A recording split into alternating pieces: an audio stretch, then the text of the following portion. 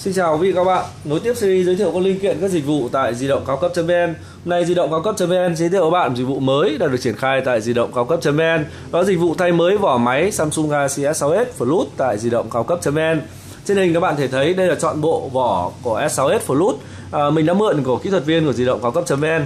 Đây là uh, được chia làm hai phần, phần là xương máy, phần xương máy, viền uh, thép xung quanh, một phần nữa là phần nắp lưng.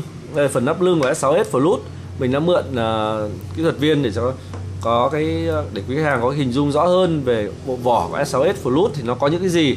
Đó. Đó. Rồi. Để hết sức cẩn thận vì nó là kính nhưng mà rất dễ bị vỡ. Ừ. Đó khi khách hàng có nhu cầu thay mới vỏ máy Samsung Galaxy S6s Plus hay đơn giản chỉ là muốn đổi màu từ màu vàng sang màu đen, màu trắng hoặc ngược lại, quý hàng chỉ cần vui lòng mang máy qua các địa chỉ của di động cao cấp.vn, kỹ thuật viên của di động cao cấp.vn sẽ tư vấn cho quý vị các bạn đó, về dịch vụ thay mới vỏ máy của S6s Plus.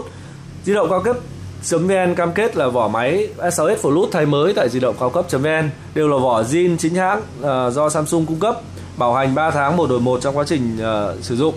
Thông tin cụ thể hơn, chính xác hơn, quý hàng vui lòng truy cập website www di động cao cấp.vn hoặc gọi thoại đường dây nóng 04 6675 99 để tư vấn hướng dẫn cụ thể hơn. Xin cảm ơn quý vị các bạn đã xem video giới thiệu sản phẩm dịch vụ tại di động cao cấp.vn chúng tôi.